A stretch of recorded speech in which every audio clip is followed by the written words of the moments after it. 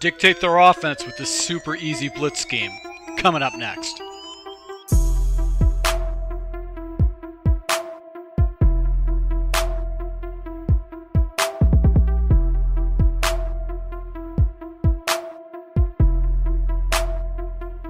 This is Full Game Prometheus, the only YouTuber that gives you full games of all the tips and schemes I post my channel. I'll show you the good, the bad, and the ugly. So guys, you're new to my channel, make sure to subscribe button, also that notification icon so you can never miss an upload.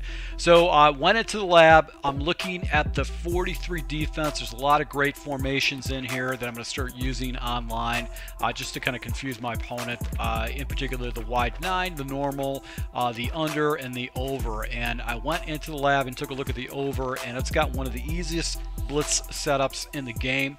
You get pressure off the edge, off the left tackle, or if you flip the play off the right tackle. Uh, very easy setup, basically three steps, and it's going to help you go ahead and get easy pressure. Force him to block his running back, force him to go ahead and slide protect, and it's going to put you in a situation where you can start winning uh, defensively and start dictating how he runs his offense. So it's a good pocket blitz, as I've stated before, guys, to have in your back pocket when you need to have pressure against your against your opponent, and you can leverage your entire coverage around that. So uh, we're going to take a look at two different types of shells. Uh, we can take a look at the Will Blitz 3 Press, and also is going to be the Fire Zone 2.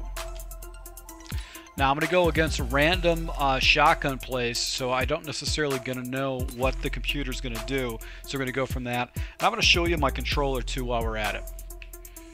All right, so to set this blitz up, you're going to base a line. You're going to take your defensive line and slide them off to the left. So you're going to hit your, your left D-pad and slide them off to the left. Uh, and then you're going to go ahead and crash down by hitting your left D-pad and then slanting inside. Uh, and uh, you can QB contain, um, but the, the, key to this particular blitz is what you're going to do is you're going to hover over this guard right here um, and then uh, basically try to preoccupy that that right guard uh, and the pressure should come off the left side of the edge. So you can see right here the pressure comes screaming off the edge uh, and the way this alignment sets up it works very well.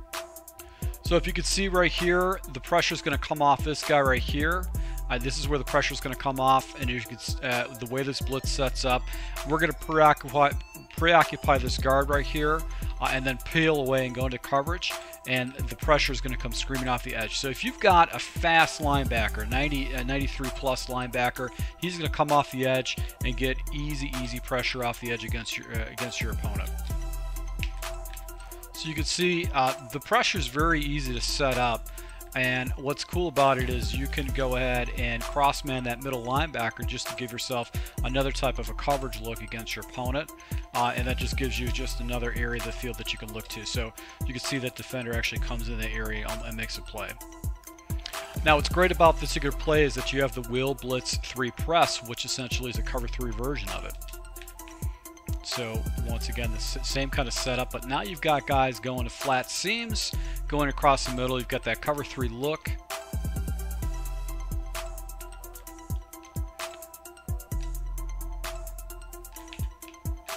Line, shift the line down, crash down.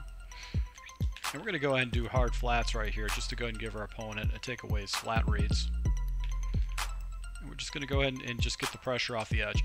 So this is what I do like about this blitz. It is a very easy blitz to set up.